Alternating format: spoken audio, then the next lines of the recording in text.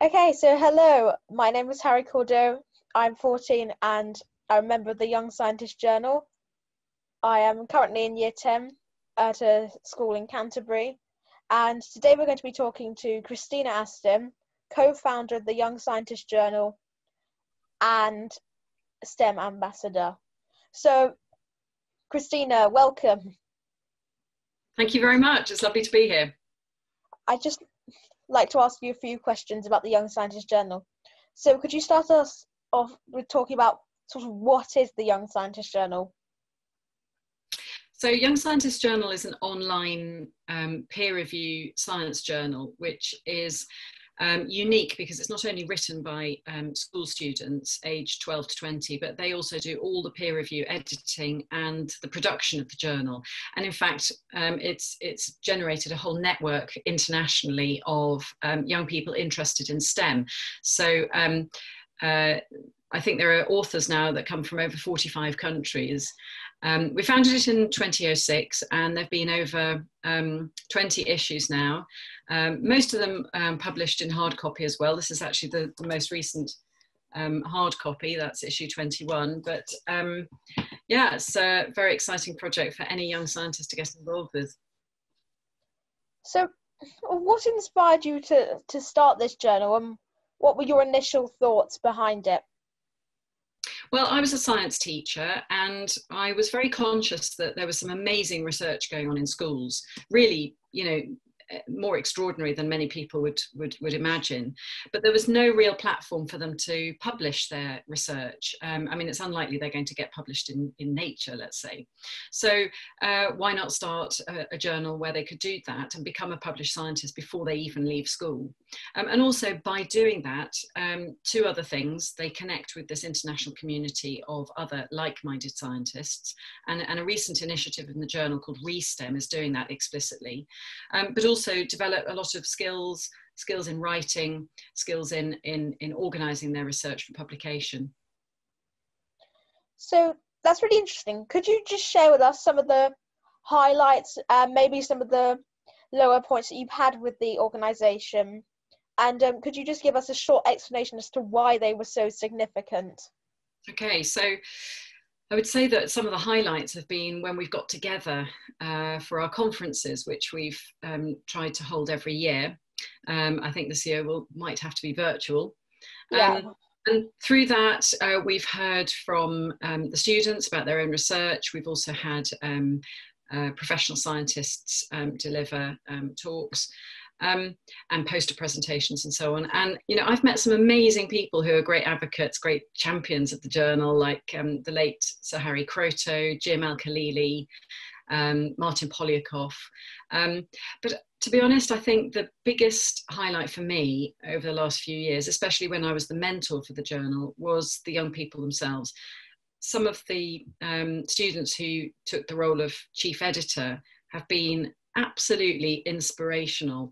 And although sometimes it was a challenge to know, to, to get the balance right between steering and leading the journal myself and helping them, supporting them, um, and on the other hand, leaving them uh, the freedom to take the initiative and, and run the journal themselves, that balance was sometimes difficult to achieve. But um, the skills that they've developed um, and the directions that they've taken the journal have been absolutely inspirational. And obviously, much of the journal is based around STEM, but we talked about the ReSTEM program. Why do you think it is so important for people in our generation to be interested in STEM? Well, that's a really good question, Harry. And um, of course, as a STEM ambassador, I'm really keen to try and encourage more young people into STEM because we have a huge shortage in STEM careers in this country um, and, and indeed globally.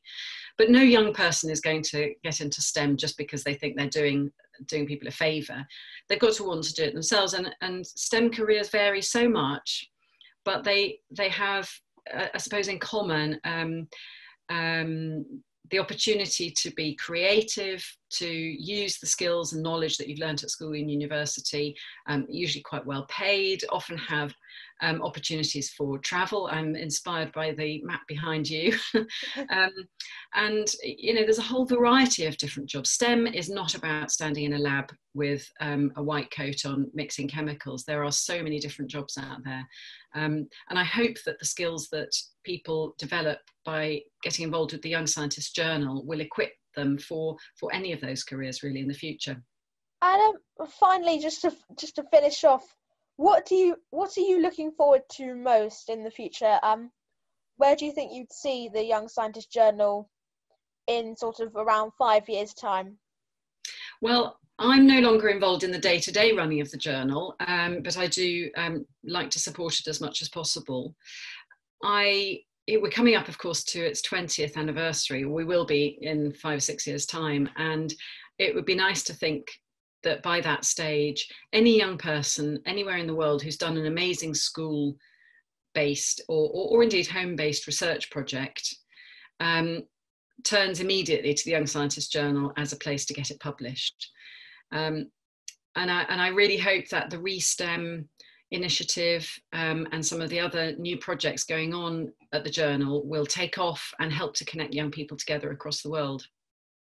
And I know that you're involved um, in more than just conducting this interview, Harry. What's what's been your involvement in the journal? Yes. So initially, I joined the Young Scientist Journal sort of at the start of uh, the COVID nineteen lockdown. I've been working on YouTube, social media.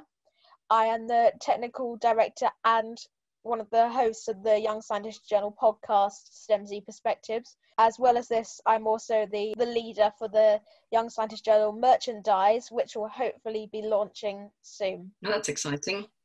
Yeah. As well as this, you can get involved in the social media, that kind of thing.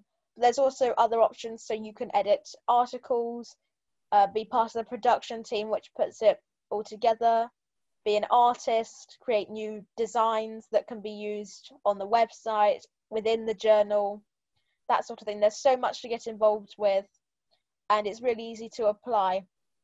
Brilliant. So, so the website is ysjournal.com.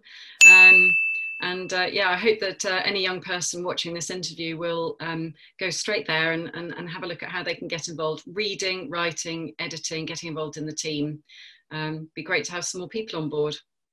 Thank you, Christina. And um, I hope everyone's taken away something from this, whether it's an interest in the Young Scientist Journal or an interest in STEM. So thank you so much for for coming to to speak and share what the Young Scientist Journal is all about with everyone. Thank you very much, Harry.